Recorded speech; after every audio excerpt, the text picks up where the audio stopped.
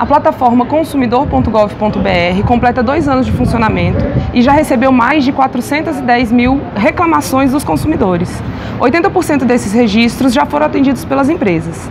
Estamos aqui com o André Santos, que é diretor do Departamento de Proteção e Defesa do Consumidor, e vai falar um pouquinho mais sobre a plataforma para a gente. Oi, Ana, tudo bem? É um prazer falar do consumidor.gov, é um serviço público com resultado tão positivo para o consumidor. 80% de solução com prazo de 7 dias na média, é, é algo realmente que gera muito orgulho para nós.